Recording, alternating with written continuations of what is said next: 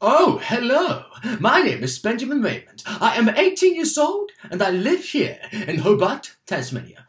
I have great pleasure in introducing my composition, The Leaves of Our Ancestors. This piece is a relevant anthem. It is paying respect to the country and the original owners of this land. I have used the compositional device of attaching the leaves from the trees.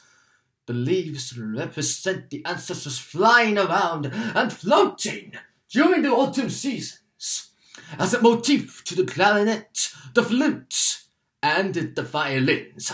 To do so, I have used directionality to tie the pitch to the leaves flying about.